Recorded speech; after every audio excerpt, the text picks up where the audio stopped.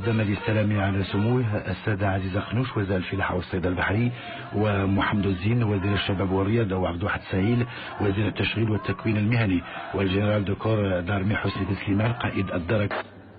ويعتبر المعهد الوطني للفرس ولي العهد الأمير مولاي الحسن أول مؤسسة بالمغرب وإفريقيا معدة لمهن الفروسية.